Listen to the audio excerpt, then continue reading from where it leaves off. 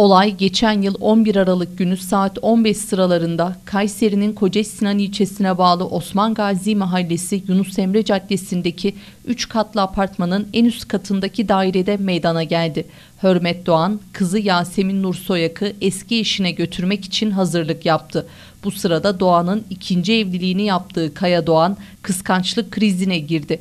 Kaya Doğan eşiyle üvey kızını mutfaktan aldığı bıçakla yaraladı. Aynı bıçakla kendisini de yaralayan Kaya Doğan evden çıkıp polis ve sağlık ekiplerine haber verdi. Eve gelen ekipler anne ile kızının öldüğünü belirledi. Yaralı Doğansa ambulansla Kayseri Şehir Hastanesi'ne kaldırıldı. Anne ve kızı Argıncık mezarlığında toprağa verildi. Kaya Doğan hastanedeki tedavisinin ardından tutuklanarak cezaevine konuldu.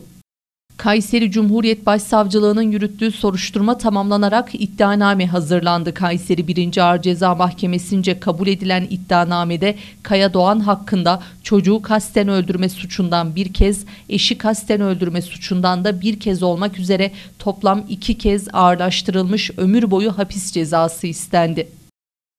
Olayda kendisini de boğazından yaraladığını, söz konusu yara nedeniyle konuşmakta zorlandığını ifade eden sanık Kaya Doğan, mahkemeye 5 sayfadan oluşan yazılı savunmasını verdi. Mahkeme başkanı tarafından savunması okunan Doğan, eşimin eski eşiyle konuşmalarını gördüm. Neden onunla görüştüğünü sordum. Çocuğu götüreceğim dedi. Tartıştık. İzin vermezsen seninle boşanırım, polisi ararım dedi. Bana sürekli hakaret etti. Evden gitmek istedi. Ben de engel olmak için bıçağımı çıkardım. Kesinlikle amacım ona ve kızına zarar vermek değildi. Bıçağı bir anlık sinirle rastgele salladım. Amacım asla kızına zarar vermek değildi. Çocuk kucağında olunca bıçak ona da değdi. Olay bir anlık sinirle kendimi kaybetmem sonucu oldu. Eşimi yaraladıktan sonra kendimi de yaraladım.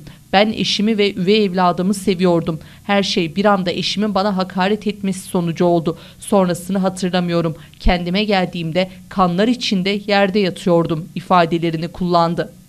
Ölen Hürmet Doğan'ın annesiyle bir buçuk yaşındaki Yasemin'in babası OS sanıktan şikayetçi olduklarını söyledi. İki tanığın dinlendiği duruşmada mahkeme heyeti sanığın tutukluluk halinin devamına karar vererek eksikliklerin giderilmesi için duruşmayı erteledi.